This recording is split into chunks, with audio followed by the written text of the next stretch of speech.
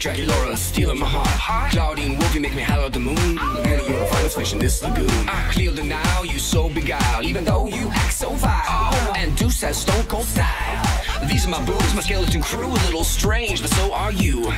Don't you wanna be a monster too? Nemůžu uvěřit, že fakt jedeme do Monster Karla. Slyšela jsem, že to místo je prý plný Monster Azy. Už abychom tam byli, co říkáte? Františtejnová, jestli jste nemocná, jet se svojí třídou na výlet nemůžete. Nebojte se, pane Rotre, já určitě nemocná nejsem. Ale ne. Nikdo se k ní nepřiblíží. Jestli to od ní chytíme, pak s bohem, Monster Carlo. Promiň, Franky, nechci riskovat, že... Oh.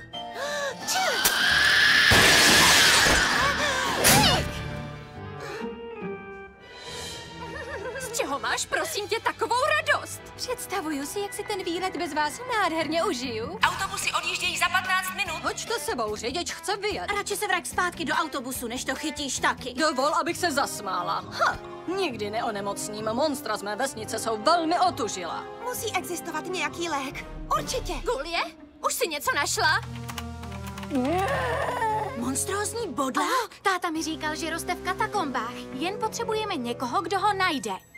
Já tu rostlinu znám. Jejím vedlejším účinkem je... Tak jdi už.